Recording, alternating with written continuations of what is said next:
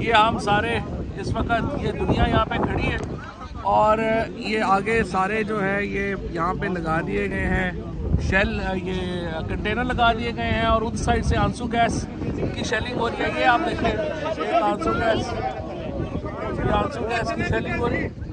ये देखिए, मेरे पीछे आउट आँसू गैस का शेल आया है ये पानी है और इसके वक्त हम ये मुकाबला कर रहे हैं मंगला ब्रिज के ऊपर।